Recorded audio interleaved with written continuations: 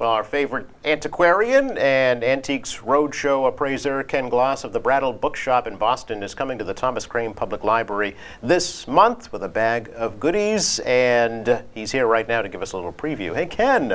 Oh, it's always good to be here. I, I enjoy coming out, and I'm looking forward to doing the uh, talk at the library. I think it's on the 16th. It is February at February 7 16th, o'clock. And, yep. you know, when I do these talks, first of all, it's a way for me to get out and see people rather than them coming into Boston to see me. Right. But I tell stories, anecdotes, I bring things along, we'll show a few, uh, answer questions, uh, give a little background and history. I think the real reason I like to think I'm interesting and I tell great stories and I'm entertaining, but at the end of the talk, I do appraisals. Yes. and and uh, there's no question that's why most of the people come. Of course, But yeah. you know, most of the people uh, bring things in that maybe it's something they're from their grandmother that they've inherited, Mm-hmm. that they've just gone to a flea market last week. Hmm. they just want to double check and see. And one of the things that can be really surprising, everybody says, well, gee, if you have that really rare, high price, very valuable item, and that's happened. Yeah. But what people don't realize is so many people are happy when you go, oh, it's nice but not particularly valuable. Yeah. And one of the reasons for that is it sort of frees them. It's like, oh, I don't have to take care of this anymore. I can read it if I want. I so can- you can I leave it on the coffee table. I can read, or I can give it to the library book sale, Right, right. or I wanted to give it to the grandchildren. Mm-hmm. But if it was worth a hundred, two hundred dollars, it's a little too much, but it doesn't change anyone's life. Right. Now, if it's worth twenty, thirty, forty thousand dollars, that's a whole different. that's a life uh, changer, that's yeah. that's a changing thing. Yeah. But if you say it's a couple of dollars, they go great. Yeah. Uh, I'm probably interested to see too if other people have things of value, um, you know, and talk about their past experiences. Well, too. absolutely. When I do it, I do sort of crowd scene, Okay. and people stand over my shoulder and Yep. they want to see what their neighbors have, Sure. what the other people Sure. have, and every once in a while, something really terrific. Uh, a number of years ago, I was at one of these talks, and a lady had a box of old papers that were in the attic, Mm-hmm. and she was saying, and, you know, there were some nice ones. There were hundred dollars here, a couple of hundred there, and then she pulls one out, and it says a Declaration of Independence. Whoa. It wasn't the first edition. It was a week or so later. It was worth three quarters of a million dollars. Seriously. It was, uh, you know, and Wow. it- my guess is that it had been in her family's attic probably since the Revolutionary War. Sure. Because so you never know. There might be that item, that thing. that Wow. Did you have to catch her when she fainted? Or no, she actually was nonplussed Oh, by it. It was. I have a feeling it didn't quite sink in. right. You know, yeah. it was like just shock. yeah, exactly.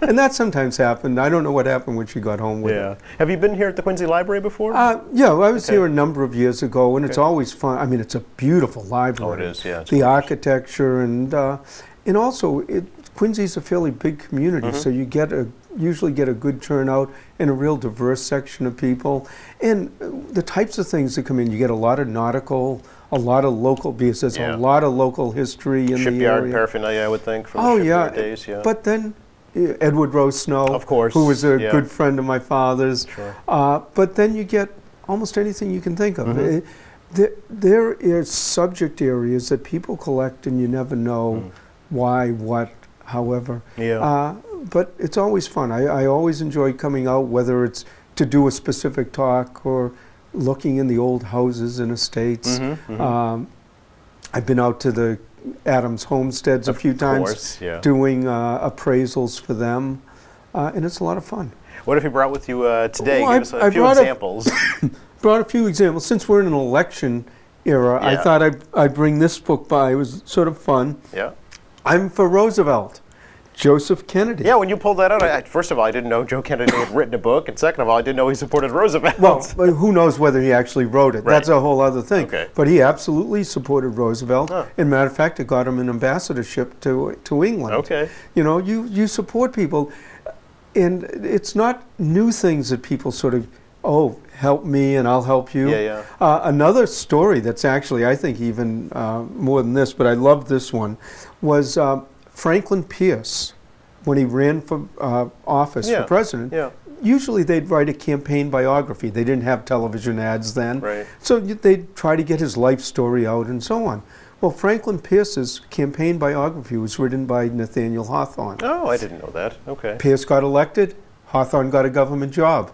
That he could see in a customs office that half the time he could sit there and write. Right. So okay. uh, you know it's been going on. So you, you never know. Sure. Um, also, I always like when you get into the uh, winter. Yes. Uh, Let's look ahead I like baseball. Yeah. you know, they're going to go down there soon, and but this is called "It's Only a Game," Yep. and it has uh, in it, it has stanzas that it's not every team, but it has a Braves. Oh, it's a music book. It's a music. Oh, all It's a music sheet. Oh. But it has a Braves, it has a Red Sox, uh, it has a, uh Senators and Okay. a Cardinals. Now, Or- would this be passed out at the games for, for people no, to this was Oh, this would have been something that uh, Harry Fonts actually was, wrote musicals and all that. So it was something that you would have bought, taken home, played. Okay. Um, I don't know if the organist at the park would have played it. Right, right, okay. But but you have, uh, depending on which town and which place you're from, Yeah. you, you get that. How much would something like that be worth? That's a, a hundred, two hundred dollars. Okay. They're fairly rare because just little pieces of sheet music like that, you know, are fragile. They fall apart. Of course, yeah. Who pays attention to them? Yeah. And I know condition is a key factor when determining value. Condition is very important. I Yeah. Mm-hmm. mean, there are some things that are so rare that you have some give, and there are some things like this that if it wasn't in good condition at all, Yeah. it just wouldn't be worth anything. What are you kind of hoping that will come your way on uh, February the 16th at 7 o'clock here at the library? Well, you know, when we were talking about children's books, you don't have to have everything that's very old. If somebody came in with the first edition of the first Harry Potter book in Oh. London, not the American, oh, All right. in really good shape, Yeah. thirty, forty thousand dollars. I can picture people scurrying around their cabinets and dressers right now looking for that. Well, it's a hard book to get because Okay. when she first came out with it, nobody expected it to sell. Of course. There weren't many copies. Even she was surprised, I remember. Yeah. She was shocked. And what also happened was the copies that did get sent out went to libraries, went, and people read them. Yeah. And of course, then the condition They goes. got used, yeah. Uh, an, another thing that I would love to see is there was a little book by a man named Edgar Allan Poe yes. called Tamerlane, and it didn't have his name on it. It said by a Bostonian. Oh. Little pamphlet, Mm-hmm. nothing, 1827, it's probably worth a million dollars. Really? But it Okay. doesn't look like much, so y- you never know what it's going to be and show up. So that, but I could go on and on and on with saying what I'd love people to bring in, Mhm. what I'd love to see. Mhm. Um, recently, um, I was at a, um, a place and they had some really nice whaling logs, shipping logs. And, you know, you think of the ones with the beautiful, uh, I mean, it would be fabulous. Another thing that I've always told people people come in a lot of times with old Civil War material. They have a diary, or, and, you know, they're great Yeah, and they can mean an awful lot to your family. sure. But what I say is, I would love to see one that was maybe a cook Oh, in the civil. all right. In other words, how because you never you hear about the battle, you hear Mm-hmm, about the mm-hmm, dirt, you mm-hmm. hear about the cold, but you never hear about the logistics. The everyday How life, did they get right? fed? Okay. And I'll tell you, if I found a diary, a normal diary might be five hundred dollars, seven hundred. If it was all about cooking and mm. cook, it would be worth thousands of. There you go. dollars. So it's rarity, too. It's rarity, Yeah. but it's also, it's fun. An interesting and, story, And yeah. of course, that's so things like that, sort of the unusual, Mm-hmm. the odd. Uh, but you know, a first edition of Mark Twain wouldn't hurt. I brought along a Tom Sawyer. I see, yeah. Uh, but those type of things are good okay. too. How much is that, Tom Sawyer? That that Tom Sawyer is probably worth a couple of thousand dollars. Okay, I Uh, won't yeah. touch that one then. Well, no, and, and and it has a few little nicks around the Yeah. edge. If it didn't have those, it would even be more. is that right? Okay. Uh, so how does it work on uh, the 16th, Ken? You'll give a talk from 7 to 8.30? I'll give a talk from about seven to quarter of eight to Oh, okay. eight. Uh, do question and answer, and then from eight to eight thirty, I'll do the appraisals. Oh, okay, great. And like I say, that's what I think people really come Right, for. yeah. And uh, but I like to be entertaining too. I like people to leave my talk. Not that I specifically teach them, but they go away and say, you know, old books are fun. Okay. Uh, All right. And there are so many interesting people, characters. Uh, I went to a, a convent recently. Hmm. Uh, well, recently, a few years ago. Okay. And I'm walking, and these are nuns that are in, in their habits and all that. And I go down to the library, and on the library door is a big picture of Edward Scissorhands.